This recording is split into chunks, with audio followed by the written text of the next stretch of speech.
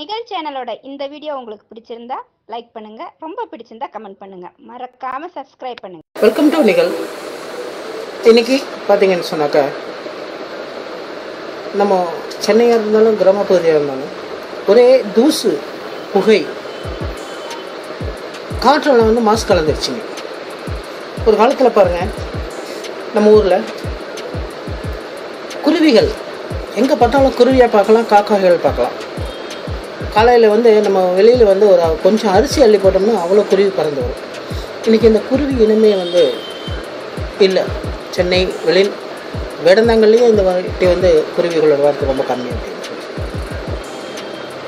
அதாவது இந்த குருவிகள் அழிஞ்சு போகிறதுக்கு முக்கியமான காரணம் என்னன்னு கேட்டிங்கன்னா மாசு. காற்று வந்து மாசு அடைஞ்சிச்சு இன்றைக்கி வந்து நம்ம சாதாரணமாக இன்னும் கொஞ்ச நாளில் நம்ம ஆளுக்கு ஒரு ஆக்சிஜன் டேங்கை வாங்கி முதுகில் சுமந்துட்டு தெரியும் ஒரு காலம் விரைவில் வரும் அப்படின்னு சொல்லி அறிவியலை கணிச்சிருக்காங்க. ஆனால் இது எவ்வளோ கொடுமையானது யோசிச்சு பாருங்களேன் கொஞ்சம் யோசிச்சு பாருங்கள் நம்ம வெளியே போகும்போது ஆக்சிஜன் மாஸ்கோட ஆஸ் ஆக்சிஜன் டேங்கோட வெளியே சுற்றுறோன்னா அது எவ்வளோ வருத்தமாக இருக்கும். அதாவது இன்றைக்கி காற்று அப்படின்றது ரொம்ப முக்கியமான ஒரு விஷயம். நமக்கு வந்து உடம்பு சரியில்லை நம்மளோட சுவாசிக்க முடியாத பட்சத்தில் நம்ம வந்து ஆக்சிஜன் அப்படின்ற ஒரு பியூர் சுத்தமான ஆக்சிஜனை வந்து சுவாசிக்கிறதுக்காக காற்றை நம்ம வந்து அ- அலு ஹாஸ்பிட்டல்ல எல்லாம் வச்சுருக்காங்க டேங்க்கு நம்ம காற்றுல என்னெல்லாம் இருக்குதுன்னு நீங்கள் நினைக்கிறீங்க? வெறும் காற்று மட்டும் இல்லை நம்ம மூக்குக்குள்ளே போயிட்டு வர காற்றுல இப்போ நம்ம பேசிகிட்டு இருக்க இந்த ஒளி அலைகள் எல்லாம் கூட இந்த காற்றுல தான் கலந்து. Sun TV Raj TV Vijay TV Ajith TV இது எல்லாமே இந்த காற்றுல தானே இருக்குது அதனால தான் எல்லாருக்கும் நம்ம உடம்பை சரியாக பாதுகாக்காத பட்சத்தில் சைனஸ் அப்படின்னு சொல்லுவாங்க. அலர்ஜி இது முதல்ல ஆரம்பிக்கிறது அலர்ஜி அப்படின்னு சொல்லி தான் ஆரம்பிக்கும். ஒரு டஸ்ட் அப்படின்னு சொன்னாக்க டஸ்ட்டு வந்தால் நமக்கு வந்து செட் ஆகாது. வெறும் தும்மலாக வரும். அடுத்ததாக அலர்ஜி அப்புறம் பார்த்தீங்கன்னா சைனஸ் நைட்டில் படுக்கும்போது மல்லாக்க படுத்தாங்கன்னு வச்சுக்கோங்களேன் அவங்களால தூங்க முடியாது. மூக்கு அடைச்சிக்கணும் இது வந்து இது இது எதனால் வருது அப்படின்னு சொல்லி கேட்டிங்கன்னா ஆரம்பம் வந்து குழந்தையாக குழந்தையா இருக்கும்போது மாரில் சளியெல்லாம் கட்டி அதை நீங்கள் கவனிக்காத விட்டுட்டிங்கன்னா அதுதான் அப்படியே வயிறு வர வர வர சனஸாக மாறுறதுக்கு வாய்ப்பு நீங்கள் குழந்தைகளுக்கு வந்து சின்ன குழந்தைகளாக இருக்கும்போதே நீங்கள் அவங்களுக்கு வந்து இந்த சைனஸ் இந்த சளி பிரச்சனைகள் இல்லாமல் நீங்கள் வளர்த்துக்கணும். இஞ்சி சுக்கு ம- இதெல்லாம் வந்து அதிகமாக வந்து நம்ம சாப்பாட்டில் கலந்துக்கணும். நம்ம காலையில் சைனஸ் உள்ளவர்கள் காலையில் ஏந்திரிச்ச உடனே ஒரு சுக்கு காப்பி சாப்பிடலாம். அதே மாதிரி பார்த்திங்கன்னா சைனஸ் உள்ளவர்களுக்கு தனியா அதாவது கொத்தமல்லியோட விதைகள். இந்த கொத்தமல்லியோட விதைகளையும் சுக்கு கொத்தமல்லி விதைகள் சுக்கு இது ரெண்டையும் எடுத்து நல்லா வறுத்து பவுடர் பண்ணி ஒரு பாட்டிலில் போட்டு வச்சுக்கணும் காலையில் எழுந்திரிச்ச இந்த சு கொத்தமல்லி விதை காஃபி கொத்தமல்லி காஃபி வந்து அவ்வளோ சிறப்பான ஒரு விஷயம். கொத்தமல்லி காஃபி வந்து நம்ம வந்து ஒரு டம்ளர் காலையில் தினமும் குடித்தோம்னு சொன்னாக்கா சைனஸ் இருக்காது. அதுக்கு இன்னொரு விஷயம் ஒன்று இருக்குது என்னென்னு கேட்டிங்கன்னா தூதுவளை.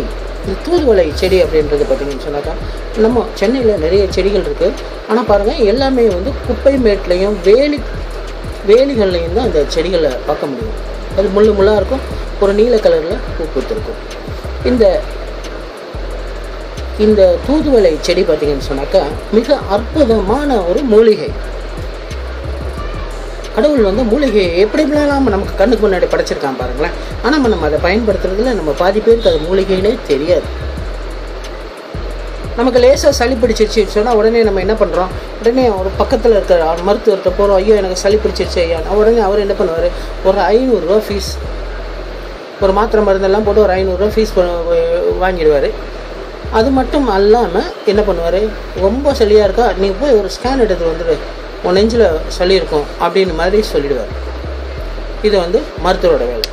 ஒன்றுமே இல்லைங்க. உங்களுக்கு லேசாக சளி பிடிச்சதா நீங்கள் உங்கள் வீட்டு பக்கத்தில் உங்களை இந்த படங்களை நம்ம செடியில் காட்டியிருக்கோம். உங்கள் வீட்டு பக்கத்தில் உள்ள வேலிக்கு போங்க. வேலியில் வந்து தூதுவளை செடிகள் நிறைய நீங்கள் இப்போ கண்ணில் பார்க்கலாம். கொஞ்சம் தூதுவளை செடி எடுத்து லேசாக வணக்கி ஒரு துவையல் மாதிரி அரைச்சிட்டு நீங்கள் சாப்பிடுங்க. உங்களுக்கு உடனே குணமாகும். சளி நெஞ்சு சளி. நாள்பட்ட சைனஸ். கட்டியாக இருக்கும் சளி. சில பேருக்கு பேசும்போதே வராது. கர கர கரன்னு பேசுவாங்க. நெஞ்சில் சளி நாள்பட்ட சளி கட்டி கிடக்கும் நெஞ்சில். அவங்களுக்கு கூட இந்த தூதுவளையை தொடர்ந்து நம்ம வந்து சாப்பிட்டு வந்தோம்னு சொன்னாக்கா நெஞ்சு சளி கோழை சளி எல்லாமே குணமாயிடும். அது மட்டும் இல்லை.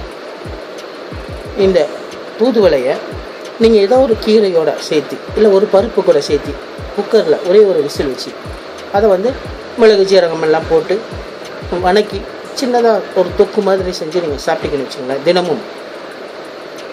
நாலு நாளுங்க. உங்களுக்கு எப்பேற்பட்ட சிலையாக இருந்தாலும் நீங்கள் ஒரு ரூபா செலவு பண்ண வேண்டாம் மருத்துவமனைக்கு போக வேண்டாம் குணமாயிடும். இந்த தூதுவளையில் அவ்வளோ பயன் இருக்குது இதெல்லாம் நம்ம தெரிஞ்சு வச்சுக்கணும். நம்ம வந்து காசு செலவு பண்ணுறது அல்ல பிரச்சனை. நம்ம வந்து ஹாஸ்பிட்டலில் போய் ஐம்பது ரூபா கொடுத்து ஒரே நல்ல குணப்படுத்திட்டு வந்துடலாம்.